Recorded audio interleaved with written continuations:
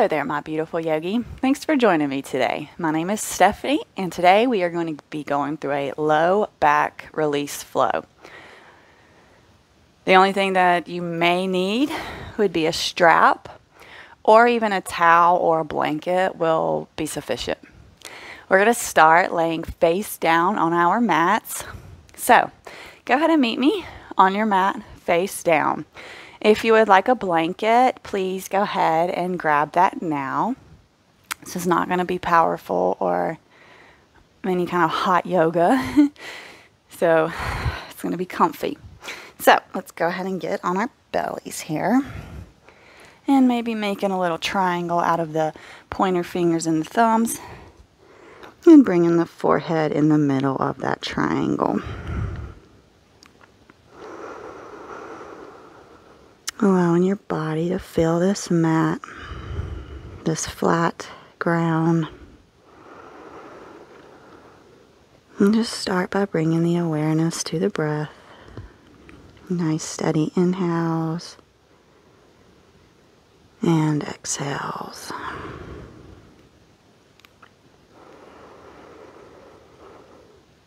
A good intention for this practice, a good affirmation would be I am enough.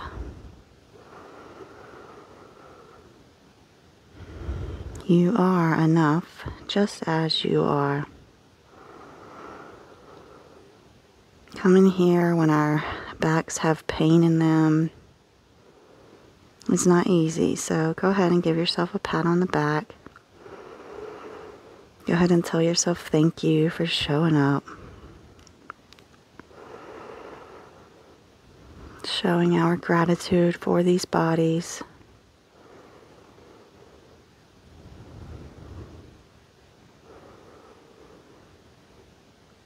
And on an inhale, we're going to move these hands and we're going to do some cobras, just baby cobras. So hands under shoulders, gaze is forward.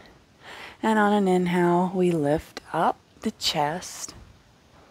Nice little back bend and release.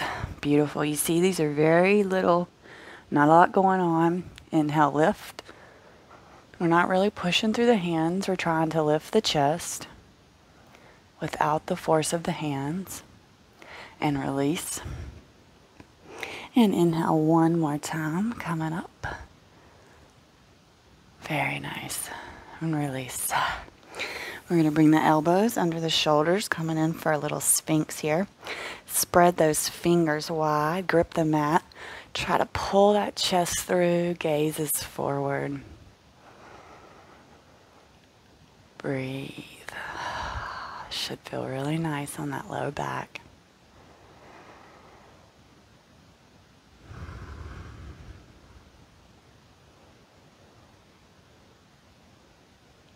Oh, yeah and release back down. Chest comes to the ground. We're going to take the hips from left to right. So just a little left, a little right, back and forth here. And we're going to pull this left leg up. So if you want to sit yourself up to pull that left leg up. Now we can stay here. We can be lifted. We can come down onto the mat. We can also take our left hand under us, left shoulder under us, getting a nice little stretch through the shoulder. You could also take your other one across the body. If not, we're here. Really getting the stretch in this left hip. Possibly feeling this if you're lifted in the right back. And if it feels nice, you can come all the way down to the mat. We're just coming here and finding what feels good for our bodies. And breathing, not no holding or clenching that breath. We should be able to maintain that nice, steady inhale and exhale through this whole practice.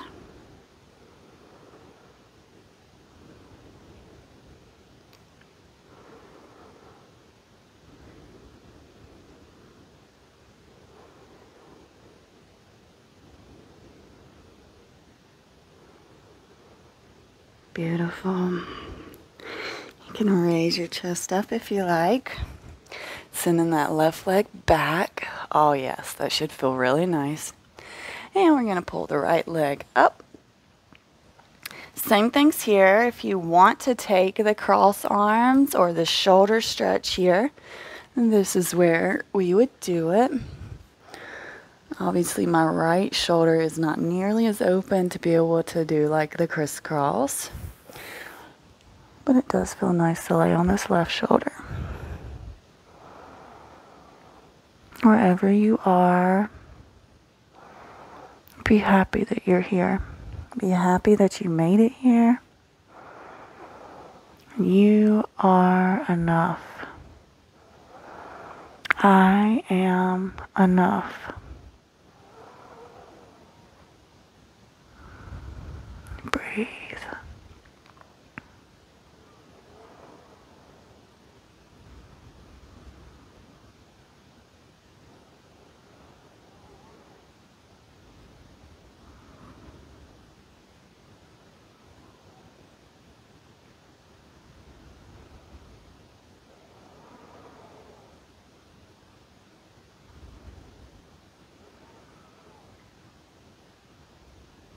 Very nice. Slowly coming out of it, sending that right leg back, coming back through the Sphinx, and rock those hips left or right here. Oh, yeah. Should feel lovely. And we're going to roll over onto our backs. Okay. Oh, yes. Go ahead. Hug those knees in. Give yourself a little bit of playfulness here, childlikeness. We're going to send the left leg out long, and we're just going to hug this right knee in. So for now, we're just pulling it directly back. We're not letting it fall to the side, and we have our knee bent. Just pulling in towards the chest. And you should feel this right leg the compression of that muscle. That hip flexor is what we're going for here. A nice active right foot dorsiflex would be beautiful. Flexing that foot towards your face.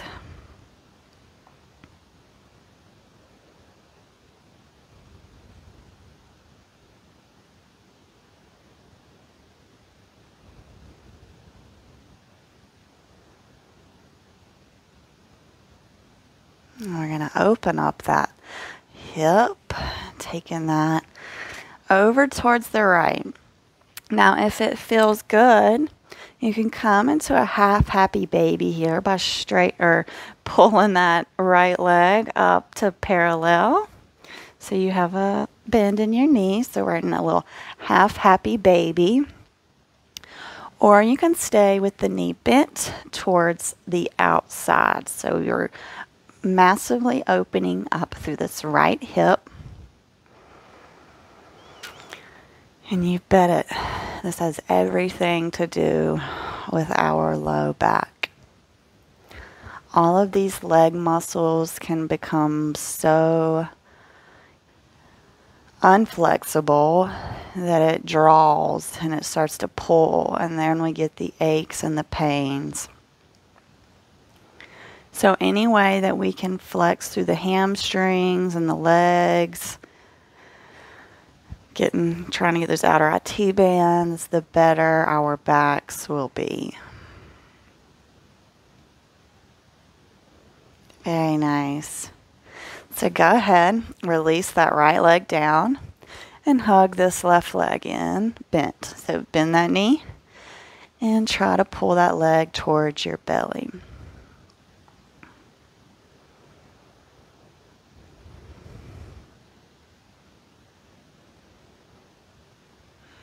Flexing that foot towards your face will help you deepen that stretch.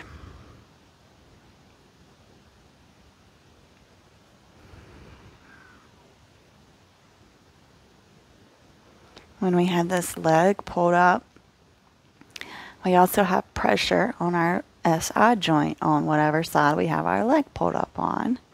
So it's almost like a little massage for our SI joints too. So that's amazing. And y'all know I love rocking and roll playtime. That's a great massage for our SI joint too. Whenever you come up, you just need to make sure that you're rocking on that tailbone. And that's basically a massage for that SI joint. We're going to open up through this hip now. So if you wanted to take the happy baby on the other side, I challenge you for the half, half happy baby on this side as well. We're just looking for what feels good. So we're wanting the hip to be open and then pulling it towards us to get that nice opening stretch happening. And of course, we're breathing. We are not holding or clenching that breath. When we hold and clench the breath, the body wants to hold, and we want the body to release into that muscle.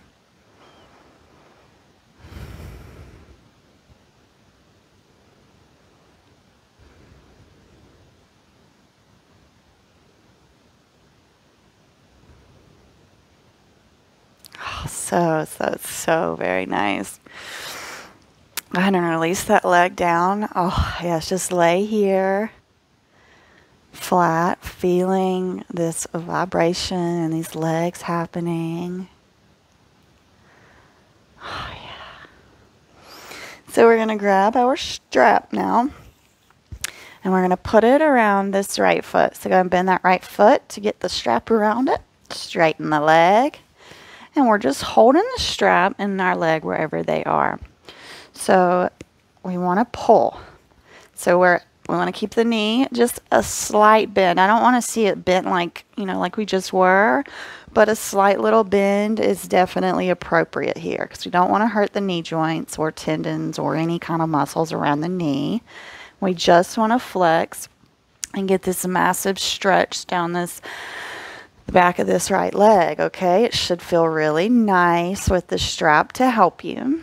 So just breathe here.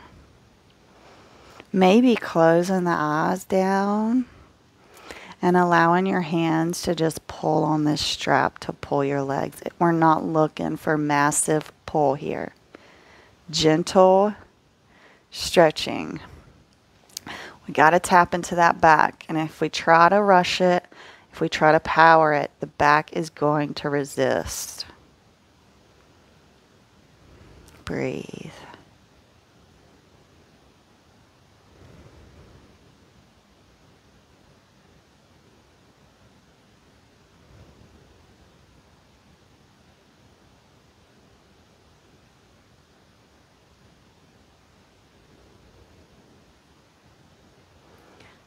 Bringing this leg outside now.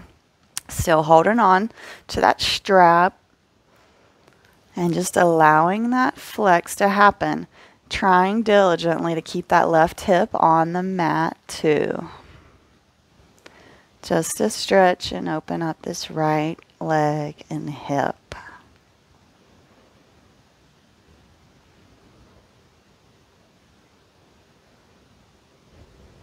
Breathing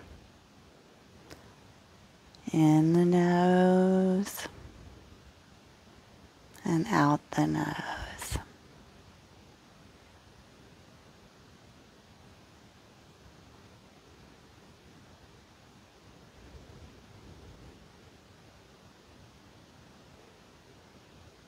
Oh, so very nice. Bring it back through center, bending through that knee, releasing that strap, and then we can send that leg out long. Oh, yeah. Beautiful. Maybe take a little rock with those hips before we come to the other side. So bending through that left leg, getting the strap around the foot, and straightening that left leg. Of course, nice little comfort in the knee. I don't want to see giant bends, but a nice bend is fantastic here. And then pull on that left foot and leg. You're going to notice one side's tighter than the other, and this is my tighter side. So just imagine that breath going to that tight muscle, tendon, IT band, whatever it may be, filling it up with oxygen and bringing it back to life.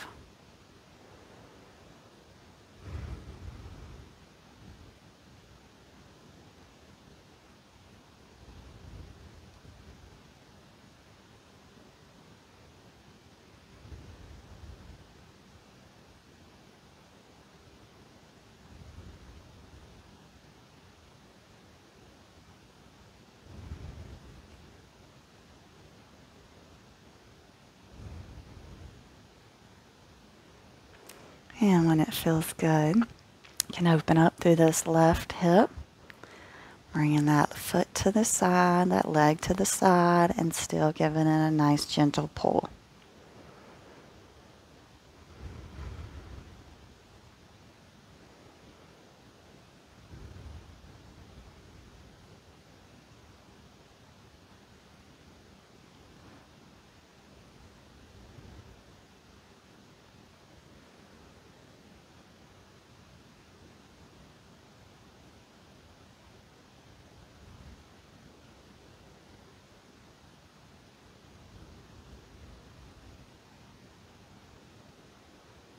Very nice.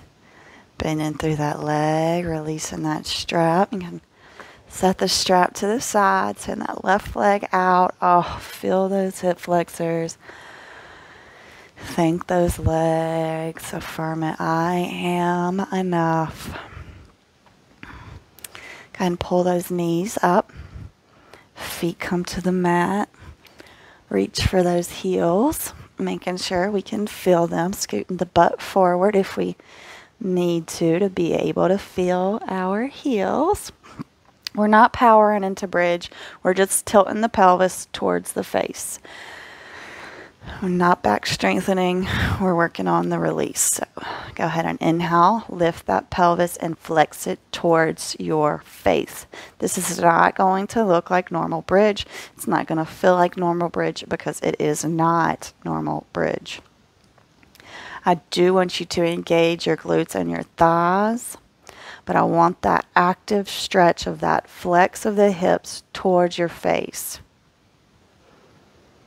So it's going to stretch those leg muscles, which we learned in turn release through that back.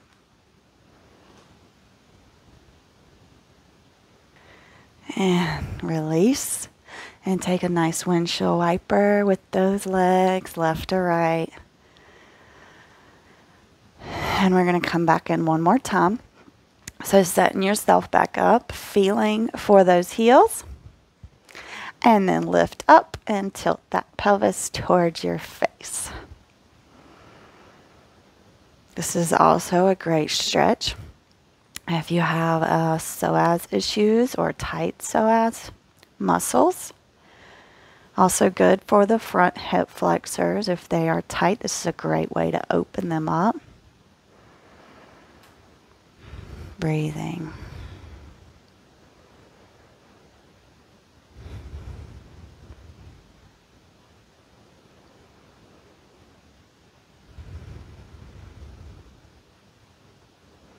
Slowly release. Oh, yeah, windshield wiper, those legs left to right.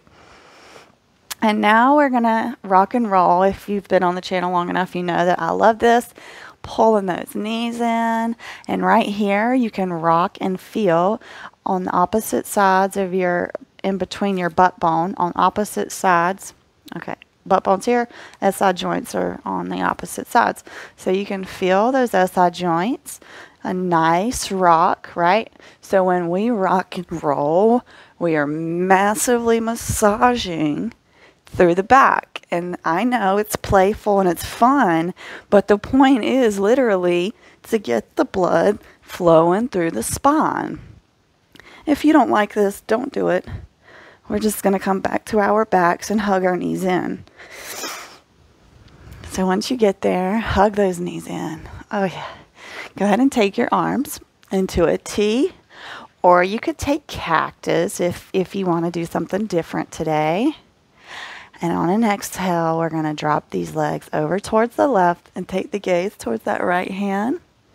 Maybe closing the eyes and maybe taking this left hand on this right knee if that feels good for you. And breathe.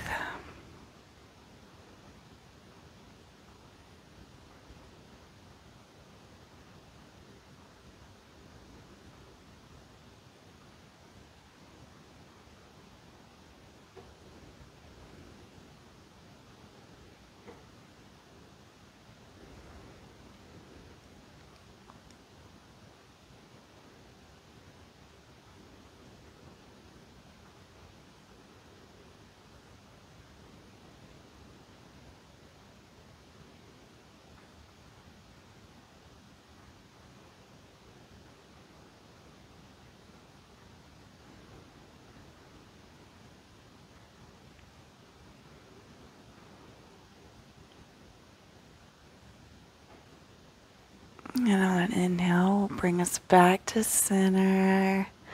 Reset. And then drop those legs over towards the right. Gaze goes towards the left. If you want to take that right hand to that left knee, just finding what feels good to your body here. Remembering to breathe into that belly, nice little gut massage.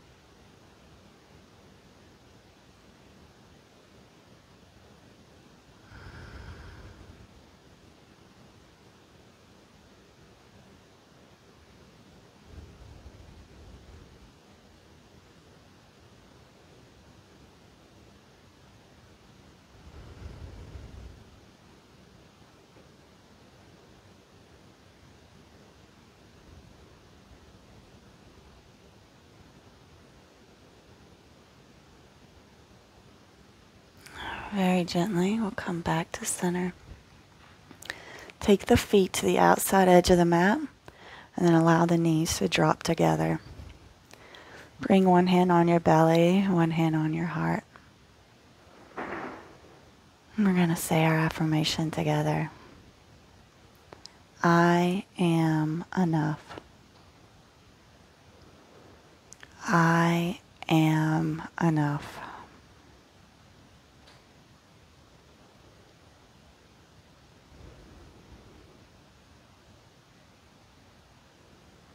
I hope this has allowed your back some relief. Keep coming back to this. Don't just do this video and the back hurts. Try to do it once a week and see the difference that it makes. Mm, I'm going to love you and leave you here. If you haven't already, please do subscribe to my site to be notified of all of our new flows that we post weekly. Have a great rest of your day and remember, you are enough. Namaste.